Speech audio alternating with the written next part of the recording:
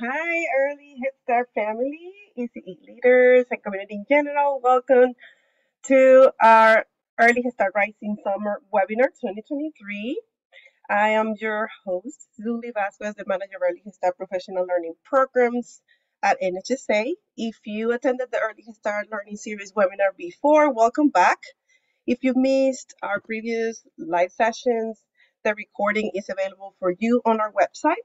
For those of you who are joining us for the first time, thank you for being with us today. Please share in the chat your name and where you are zooming in from. Before I introduce our guest today, I want to remind you that these Early Head Start webinars are part of our Early Head Start Rising campaign. If you'd like to know more about the Early Head Start campaign, please visit our website. You will have the link in the chat. Feel free to check it out. Our webinar today is Explore the Speech and Language Developmental Guideline from a Bilingual Speech Language Pathologist. It's my honor to introduce our presenter today, Emily Vincent. Emily is a bilingual Spanish English speech pathologist, and she has been working with families and children for many years, providing therapy and consultation services through early intervention, public and private preschools, including Head Start and Early Head Start, as well as, as, well as elementary schools. She began uh, live after college uh, as a Head Start preschool teacher, then later as a disability specialist for Early Head Start and Head Start, while attending graduate school to become a bilingual speech language pathologist. Thank you, Emily, for presenting at the Early Head Start Summer Series this year. Before Emily starts her presentation, I want to remind the attendees to put the question in the chat. We'll have some time to answer some questions at the end of the presentation. Emily, welcome again. We're happy to have you. Second time around. yes, thank you well. so much.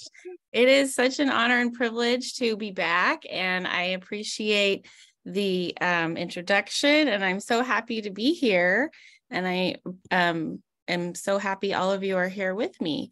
Um, so I see some some faces I know in the crowd, which is really exciting, as well as others that might not know who I am. But thank you all for being here.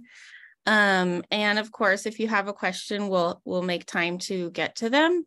Um, so right now, we're just going to listen to a little song about hello in many languages. And as we go, you can share in the chat if you haven't yet your favorite greeting in any, and it could be in any language. I think I'm probably I would say I'm a sucker for aloha because it means so many things at once with hello and goodbye and love and all the things. But I've seen some lovely messages in the chat as well. So here we go.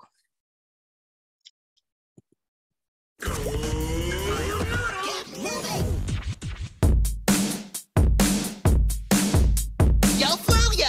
Yo, yo. Show us how. Oops,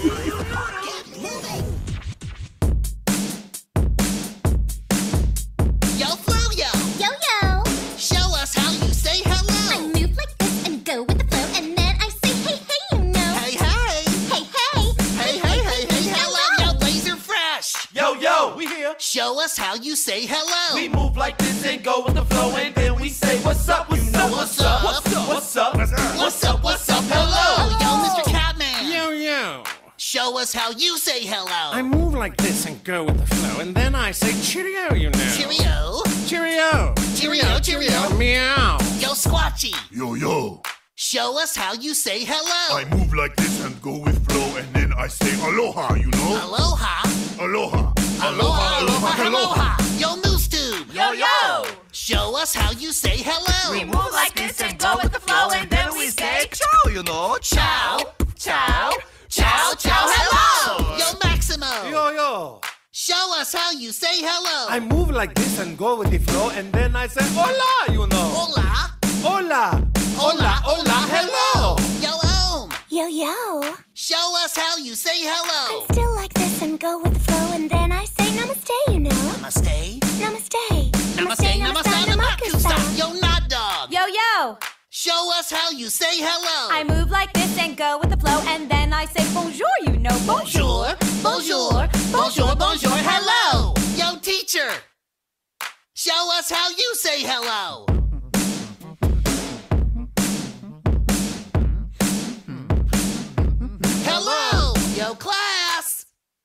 Show us how you say hello.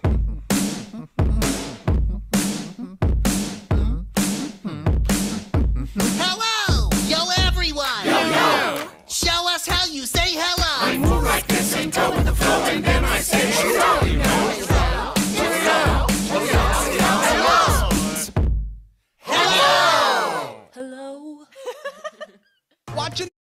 All right. Hello, everyone.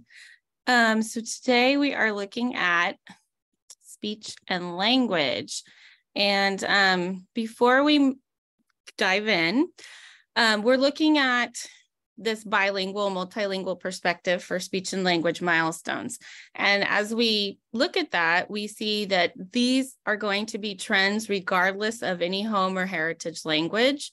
So the areas that we um, looked look to are receptive language, which is language comprehension or hearing and understanding, express expressive language which is language production or language use and it doesn't have to be verbal it can be nonverbal like signing some individuals use what's called an AAC device which is an augmentative or alternative communication device it could be through a screen where they're communicating through icons or of course something like sign language and then the area of pragmatics is the use of language or social language. And this is, of course, varied within cultures. So for example, in some cultures where eye contact might be really important, in other cultures that not, not might not be a factor in effective communication. Um, and articulation and phonology, I kind of call the icing on the cake. If the cake is language, the icing is speech. Um, so that's the speech sound production. And we find that there are meaningful sounds. There's a finite list of meaningful sounds in each language, and we'll be looking into this more um, as far as other languages go with how those sounds are meaningful and how they create meaningful words and they could be shared or not with other within other languages um, and one of the things also is um, as we go along, like please put any questions in the chat and we'll get we'll make sure that there's time for that. Um, the other thing I wanted to mention is that we're looking at these through the American Speech and Hearing Association guidelines, which is ASHA. And I am a member of ASHA as a speech and language pathologist.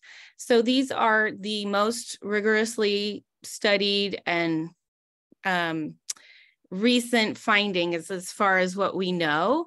The CDC, the Center for Disease Control, had, came out with um, guidelines that I think were released early 2022.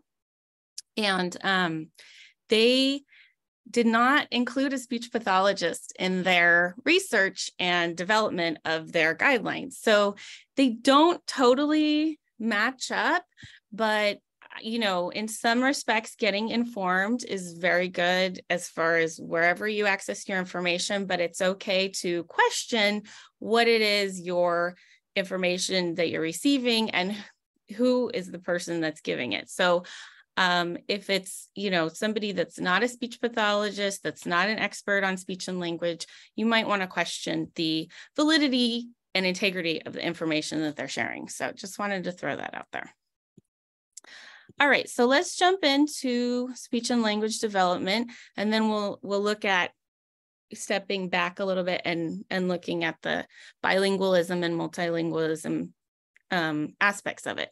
So this is across any language. This is these are the things that we see as far as hearing and understanding and talking.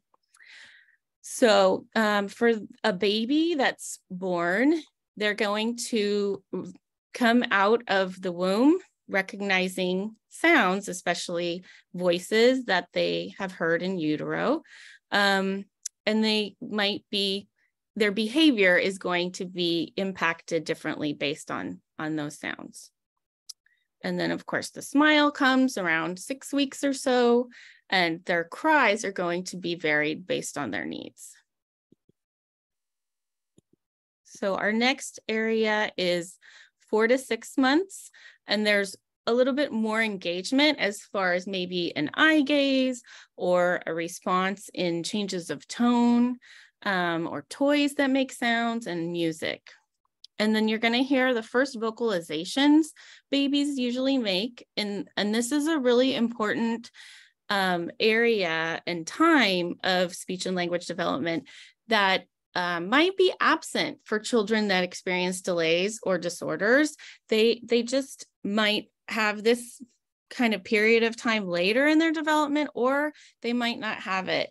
at all, depending on where they're at with their development. But that cooing and babbling and vocalizing um, is really important for the foundation of language and speech development.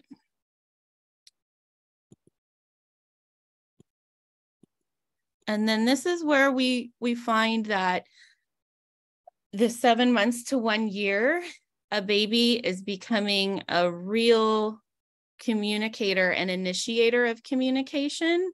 Um, and they will also request that their communicative partner is engaging with them. So, again, when we see these things and we see these trends, if something is not happening or if something is happening, maybe really delayed as far as months, um, then it's going to be a cause of some concern and maybe getting some support around how you can um, find an expert to speak with.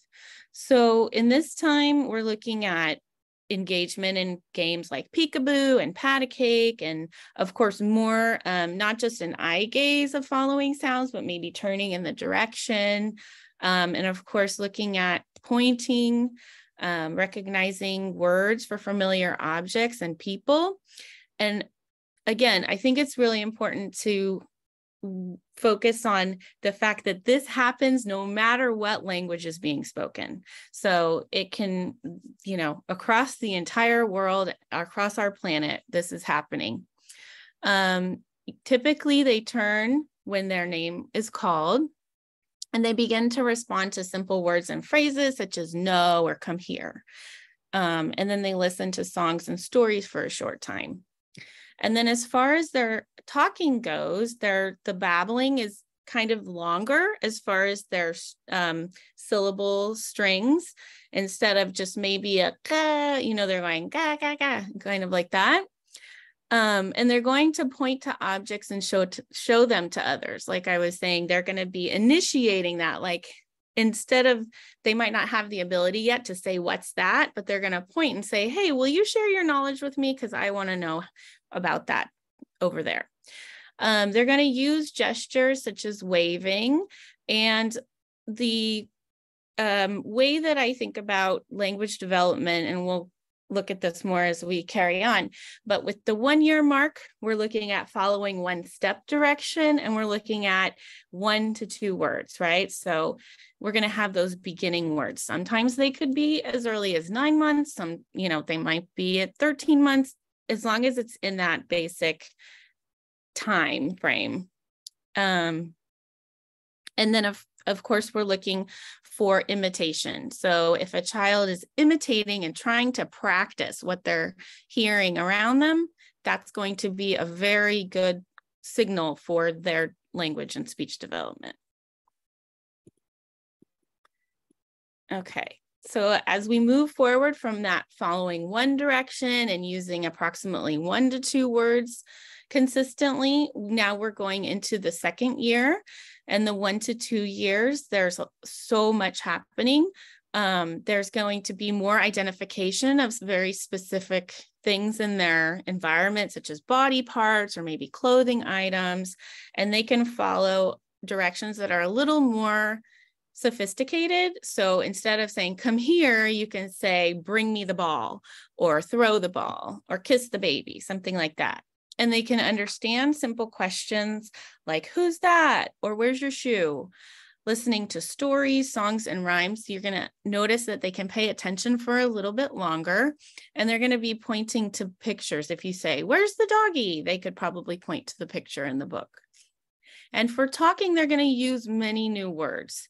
Um, this is what we call a language explosion. This is the time that when um, we're looking at trends in what we neurotypical language and speech development, we're going to have families not be able to um, even be, measure how many words are happening. Like oh i i don't even know. They just keep talking and talking and talking. So that's what we want to look at or look for excuse me. Um so there's also this um in the sounds where it has the P, B, M, H, and W in words.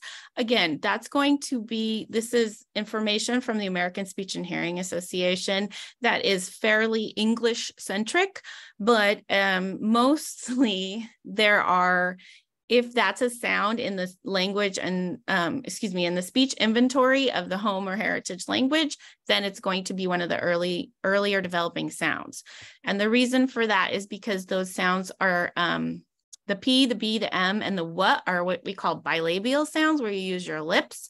And that's the beginning of speech sound development is with your lips. Um, and then the sound is just an open, you know, you're put, putting air through your um, throat area and don't really have to vocalize, don't have to use your voice. So that's going to be an earlier developing sound as well um, they're going to start to ask questions and they're going to put words together, such as more apple, no bed, mommy book, something like that. And the um, way that they can put words together is by having a word bank or an inventory of around 50 words. So that's, like I said, with the mark of turning around one, you follow one simple direction and maybe have one to two words. And then when a child turns two, we're looking at two words together and following one part directions with two objects or two um, two things basically like doing something with an object, not just come here, but throw the ball. So that's kind of the difference in that area. All right, and then our next stage with the two to three years is also continuing this um, complexity of understanding language and opposite words such as go, stop, big, little, up, down. And one of the things to think about as they approach this preschool age um, is they are going to be creating their understanding for being in a space and following directions in maybe a school or um, another space around other children so that they can understand where to go, where to go with their body, and what to do with their body if they have to follow a school routine or something like that. So um, we would not expect a very, very small child to do that. But as they become closer to their preschool age, around three, they are going to show comprehension of that. Um, so they're going to start following two part directions, like get the spoon and put it on the table. And they're going to understand new words very, very quickly. And with talking, they're going to have a word for familiar people, places, things, and actions.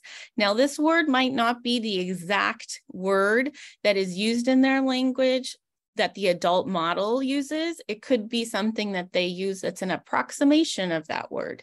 So there could be something that they're consistent with that might not be exactly how it sounds from a, an adult.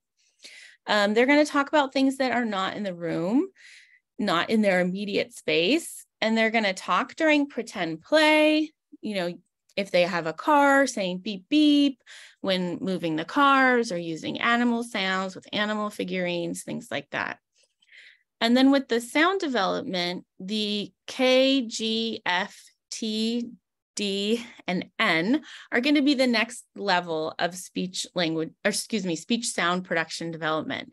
So these, like I said, is the first, the P, B, M, and W, you use your lips, and it's going to go back. So they're going to start using the tip of their tongue behind their teeth with the t, d, and n. And of course, these are um, focused on English speech sound production, but there are the sounds in these um, in other languages, these same sounds might not have the same exact what we call place of articulation. So, for example, a T sound in Spanish could be between your teeth, like and not a hard T in English, like t. So, um, everything is, you know, dependent on the home or heritage language. Um, and then the K and G sounds are in the back of their throat. So, like I said, it's going from front to the back of their throat for that speech sound production. They're going to start using preposition words like in, on, and under. Um, hopefully, they'll start to ask why even though that might be um, not the favorite part of language development from their family or caregivers. Um, and then they're going to look to putting three words together to talk about and ask for things. So as they approach one year, we're looking at their first words and following one simple direction. At two years, we're looking at two words together and following one direction with two things, like doing something with an object. And then uh, as they approach three, we're looking at two part directions and three words together. Okay, so then for three to four years stage, we're looking at um, responding when you call from another room, understanding words for some colors for such as red, blue, and green. And one of the things I think that's important to acknowledge as far as this learning time is not the accuracy with which they might understand or identify colors, numbers, shapes, letters, but the fact that they're emerging and understanding of what it is. it's the concept that's important. So it's okay if they say blue when you say what color is this? and it's yellow. The fact that they responded with the color it shows us that they're acknowledging that they're working on understanding which color it is and that they know that it's a color. So that's just something to think about as far as what we expect and how we expect um, a child this age to be developing language. It's i think the concept more important than the accuracy um, and then understanding words for family, such as brother, grandmother, aunt, depending on the family that's around them and the words that are used. And then as far as talking, they're going to answer simple questions like who, what, and where. They might not be at a place where they're responding to how questions or why questions. That's going to come later. And they're going to understand um, and start playing with language like rhyming words such as hat, cat, or silly Billy.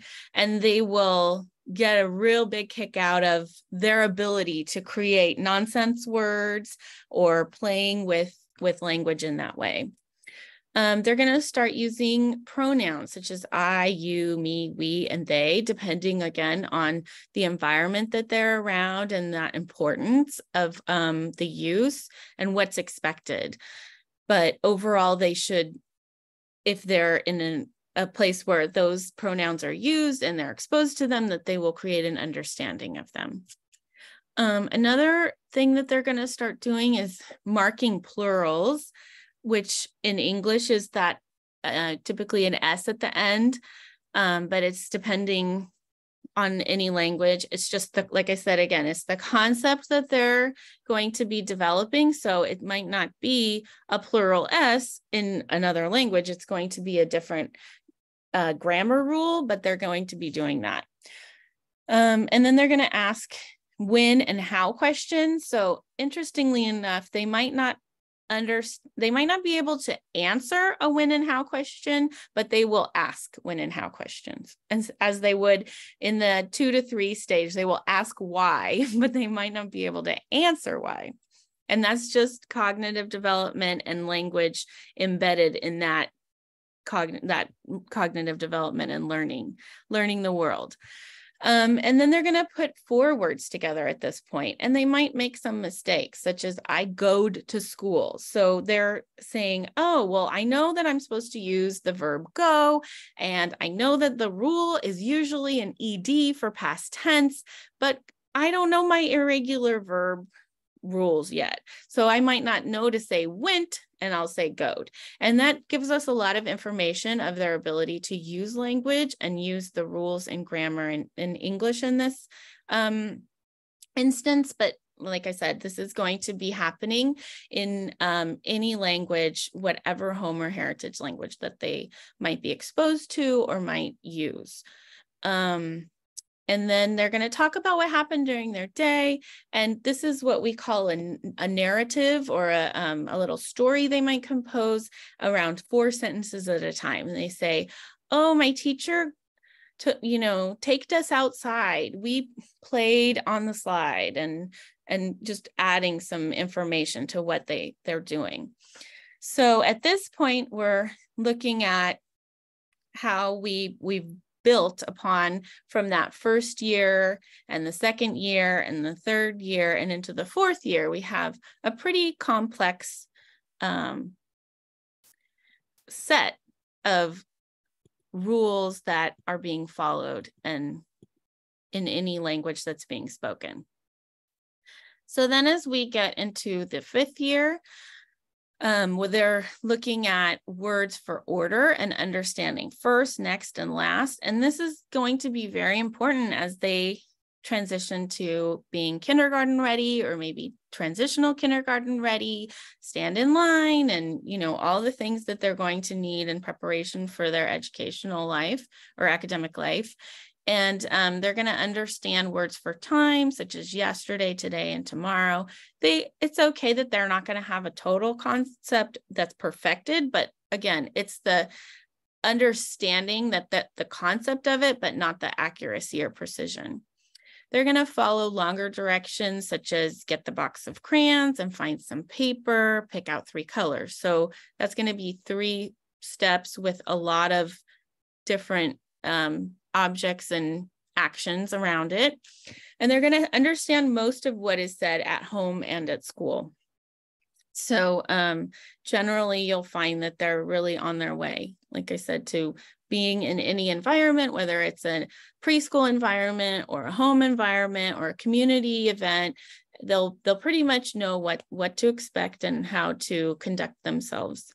Um, and then for talking, they're going to say all speech sounds and words, but there still might be some um, some difficulties. So these later developing sounds, the L, S, R, V, Z, the J is the J, like in giraffe, the Ch, the Sh, and the TH sound, um, that's not going to be expected to be perfect. So those sounds are later developing sounds. And also, if a child is not exposed to English and um, they're they're exposed to other languages or they're exposed to multiple languages, uh, then we don't have the same expectations for sound development that we would if a child is only exposed to English, for example.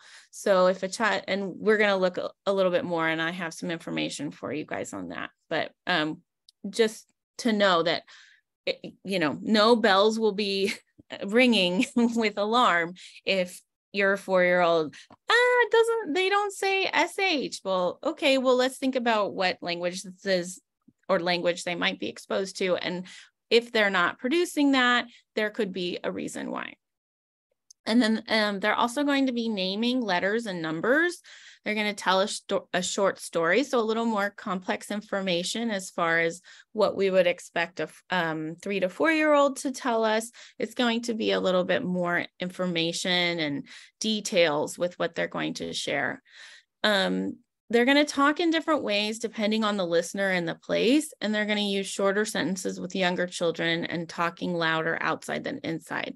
And this i think is really um, interesting as well with the bilingual dual language learner or multilingual child. They will have a very acute awareness of who which individual speaks which languages so they will do what's called translanguaging maybe and we'll talk about that or it used to be referred to as code switching where if they knows that they speak two languages and they also have um, a family member that speaks those two languages, they will use both of those languages with that family member. Whereas another family member might only speak one of the languages that they speak, and they will adjust accordingly and switch to that language that they know the family member speaks. So this is something that's, um, I think, hand in hand with talking in different um, ways with different individuals and and you know using those shorter sentences for younger children. Um, okay, and then I think that's just kind of a reiteration with the link with the sound development um, and using the same grammar as the rest of the family. So essentially, we're looking at longer sentences um, and something very similar to what an adult or grown up would, would be saying. A four and five year old is going to use that same grammar structure and sentence length. Okay, so getting more into the speech and um, sound development here. This is in English, of course. So, like I said, these bilabial sounds are um in the in the number two, we've got um H, P, N, D, B, W, and M. And with the exception of H and D and N, those are all what we call bilabial sounds or sounds that use your lips. And then the N and D are what we call alveolar sounds. So the tip of your tongue hits behind your teeth. And um, the N is a nasal sound. So the sound comes out of your nose, similar to the M sound. M is going to be a nasal sound. And the D sound, you use your voice and you push air through d, your mouth. So um, that's a non nasal sound. And then at three, we're looking at T, T, and F, Y for the Y, N is the NG, and K, K and um, K and G are those sounds that we say in the back of our mouth. And those are called velar sounds. So the F um, is going to be a sound where you bite your bottom lip and push air out and not use your voice. Um, and the T is not going to use your voice either. So, say a two year old says, um, you know, DD when they really mean TT. But that could be totally fine because at two, we expect their D to be mastered, but not their T. And so that's that's totally an okay um, sound substitution. So so we definitely have things and errors that we expect depending on um, the age. And then of course going on um, for those later developing sounds that we looked at. And this comes from boisechatterbox.com. I think it's just a nice infograph there. So one of the things I think to keep in mind as we um, experienced child um, language around us is what that expectation might be as far as the understanding. So we're looking at a child's speech and how someone should understand their speech. This is based on a non-familiar person. So someone that does not know the child and does not know the patterns of their speech. So, so often caregivers and family members are going to really catch on to how their their child speaks and what the patterns of errors might be presented. So if they say i want a tt and you know that that means cookie. We're not constantly saying oh you mean cookie? You want a cookie? You know and and so you just understand that the child means cookie. And however if the child goes to someone that does not know them as well and they say i want a tt the person will be like i have no idea what you're asking for. But um, again in context and routines a lot of times caregivers really catch on to to those developmental errors so we're looking at somebody that doesn't know the child as well. A three year old would be understood approximately 70% of the time. And we're looking at three and a half to four around 80 plus percent of the time. Um, and of course, between four uh, or around four, we're looking at 90% of the time. So if if at these um, in these contexts, if a child is not understood, that's when we kind of pause and think, okay, well, is something going on? Is there a reason why they're not create, you know, producing the sounds that we're expecting? Is there a reason why they don't, why we're not understanding them? And we look to the advice of a, a speech pathologist or someone around that might have a deeper understanding of speech and language development. Okay, so here's some information um, as far as other languages in the world and spoken in the United States. I think the top 10 um, might be 10. So the widely spoken languages in the United States are below. And I tried to make sure you have access to the information of speech sound development in these languages. And so one of the things that happens is um, when we look at the speech sound development for all the languages, they're not going to be exactly the same as they are in English, of course. It's going to be different. And you also, we want to step back and think how much or um, how, what's their exposure? Like, is it 80 20 for one language and another language? Is it 50 50? So that's just one of the things to keep in mind as far as, um, oh, sorry, there's a um, typo there. It's not Russian with an M. I'll, I'll make sure you, I'll fix that before you guys get this. Um, so if you click on any of these when you get the PowerPoint, you'll find a page that really describes the um, speech sound production for those languages along with the development of English. So one of the things is we expect certain errors, just like we do generally with development. Um, there's going to be some uh, different ways that children develop sounds based on the languages that they're exposed to. And so we would not have the same expectations as we would for a monolingual English speaker for someone that's exposed to Spanish and English or Mandarin in English or Tagalog in English. So so all of those things are really important to keep in mind because at the end of the day what we're doing and as far as um, my role as a speech pathologist is to really do what we call a differential diagnosis. So we're looking at is this a language difference and a dialectical difference or is this a language disorder where a child really needs intervention to create and therapy to be able to communicate effectively? Or is it just a matter of time so that they can be um, given some time and space to create their communication and speech and language production. So it's really a matter of kind of stepping back and assessing what are the languages in this child's life and are they playing a role in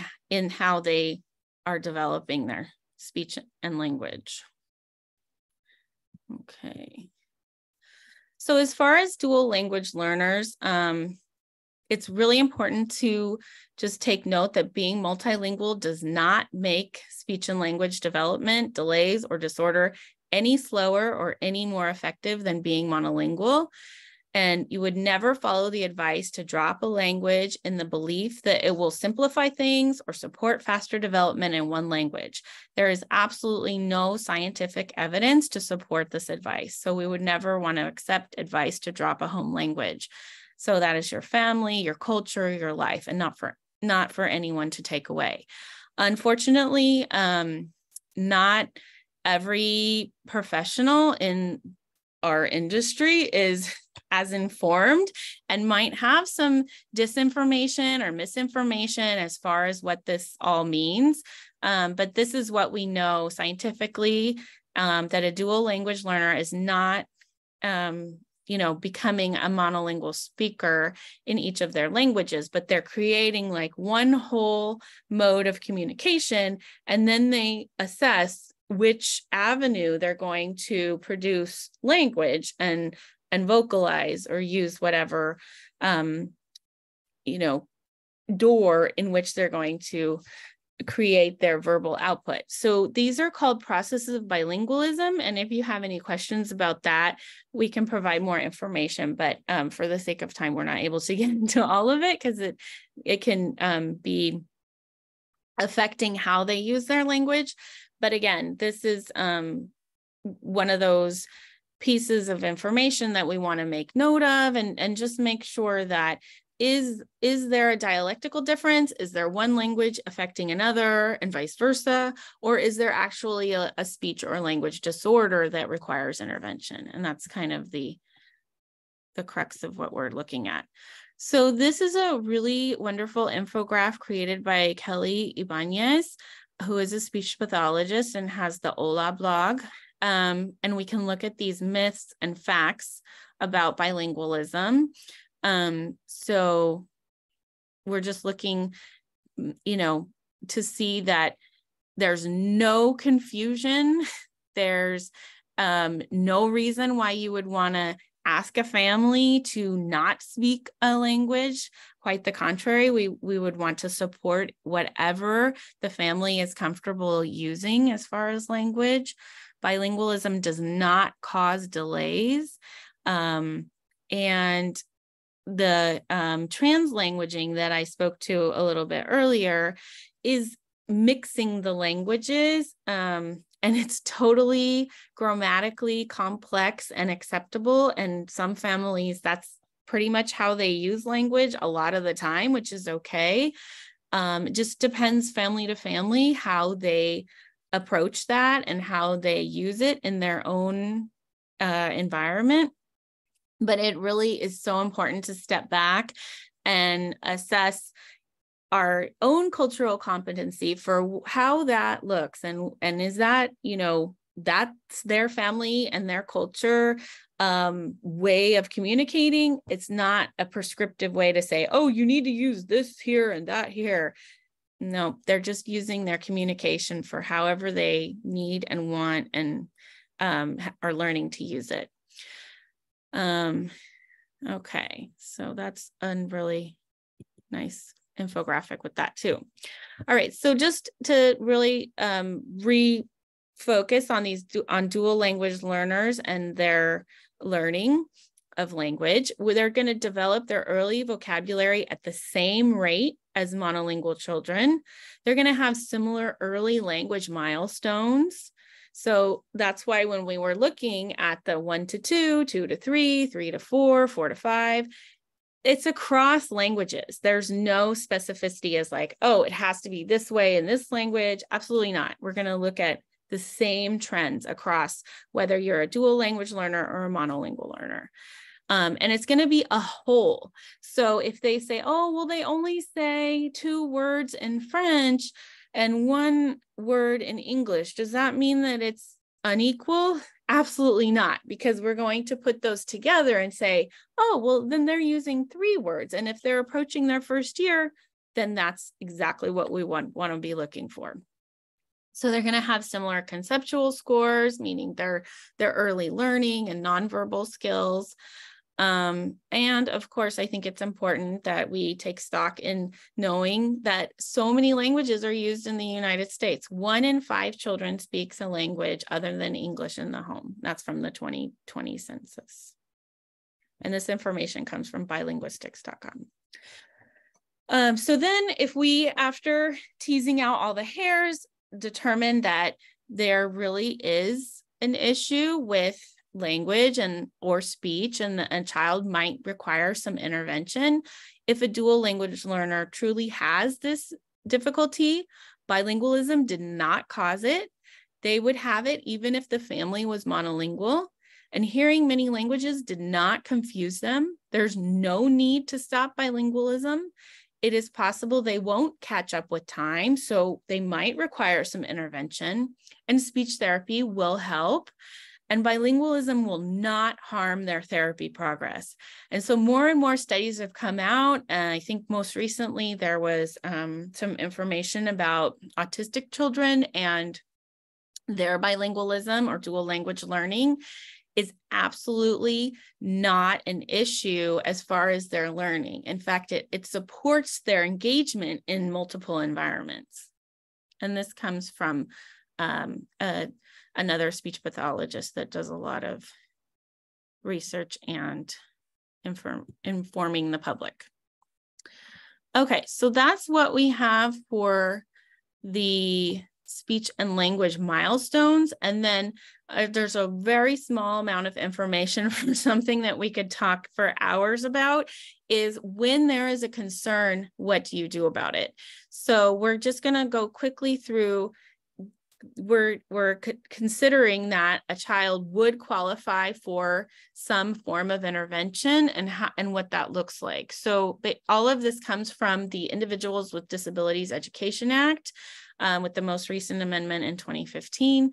And this is going to be how a child can access some intervention that's not medically based. So, of course, some children with different diagnoses might be able to access a medically based speech therapy situation if they have a certain diagnosis. Um, but with respect to um, the special education law, this is what we're looking at. There's um, a, a part that is part B that is zero to three, and then there's part C that is school age children. So I just have an infographic for you about the individualized family service or support plan, which is called the IFSP, which is the zero to three program.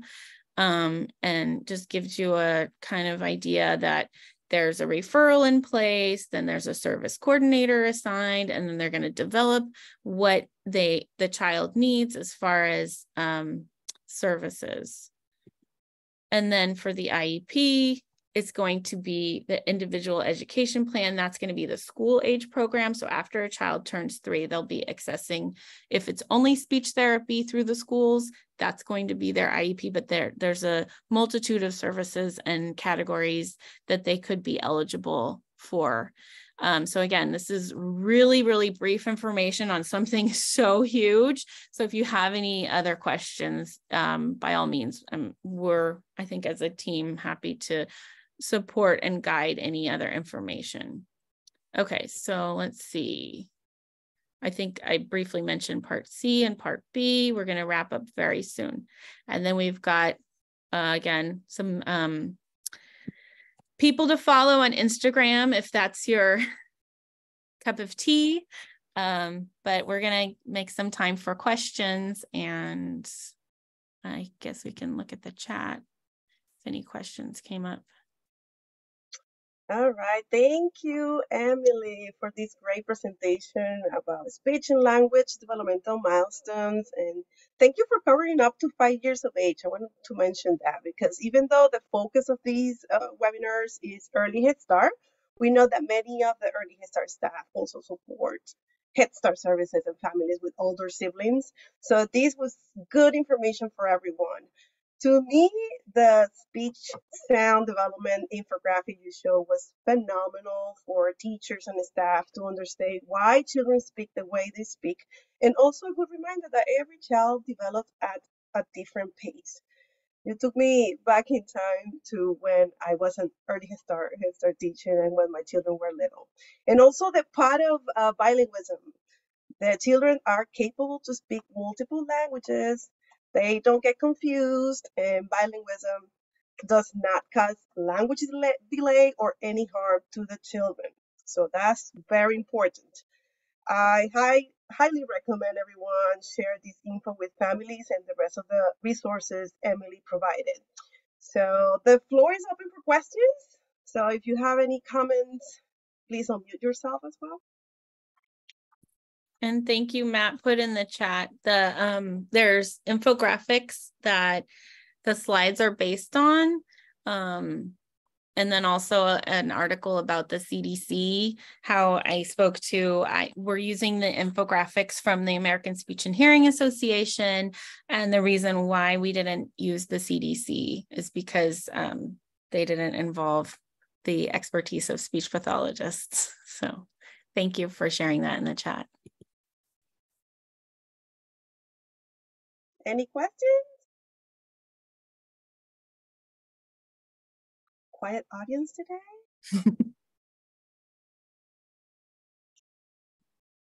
Don't be shy. We're happy to answer anything. No question is unwelcome.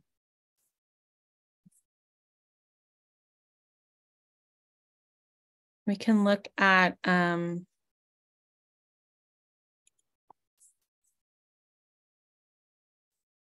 one of the